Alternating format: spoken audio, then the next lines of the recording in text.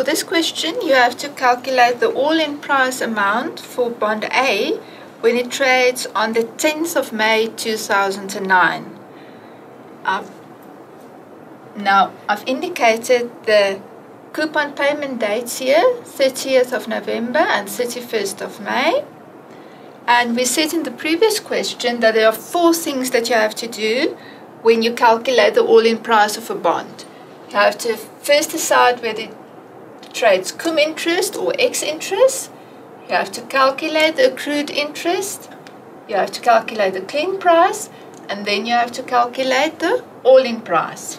So we're going to do the first thing now. We're going to decide whether this bond will trade cum interest or ex interest on the 10th of May 2009. Right, now when it trades on the 10th of May 2009, the next coupon payment date will be the 31st of May 2009. The previous coupon payment date will therefore be the 30th of November 2008.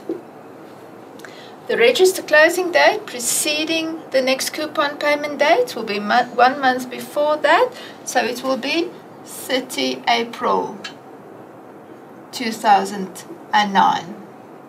Therefore, the transaction date falls in this period, small period, after the register, register closing date, but before the next coupon payment date. So, who owned this bond on the register closing date? It's only going to trade after the register closing date.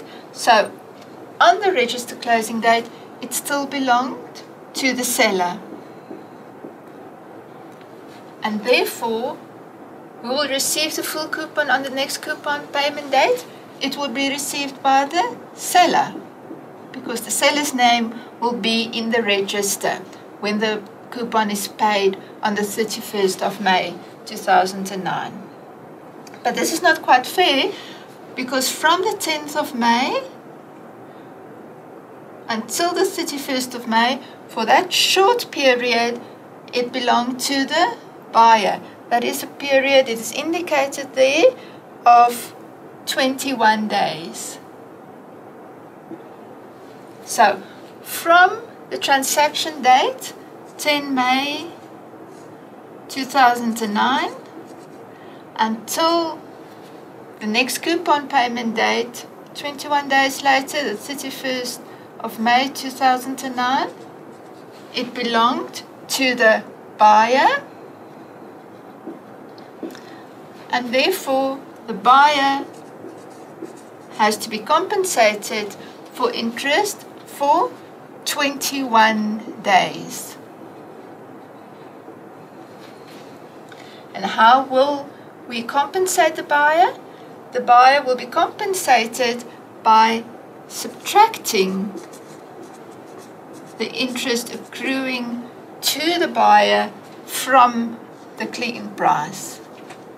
So when you are going to calculate the all-in price, it's going to be the clean price minus accrued interest.